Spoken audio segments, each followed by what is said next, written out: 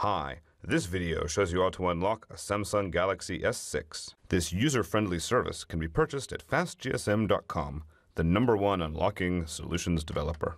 Only devices with these lock screens are supported. At the supported unlock screen, press the dismiss button. Now visit fastgsm.com. Select Samsung as the manufacturer and then your phone model. Now you can view the list of available unlock services. Hit the More Info button under the Unlock by USB service to see all the service details. Purchase the Samsung Unlock service by clicking the Buy Now button. Download and run the FastGSM Samsung client software. Fill in your FastGSM account username and password and select your phone model number. Then hit Next. Follow the instructions shown in the client software.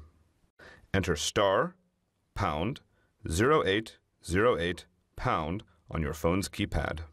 Then, from the list of options, choose the one containing both the letters DM and ADB and press OK. Now reboot your device. After rebooting, connect your phone to your computer by USB. Hit the Next button in the client software.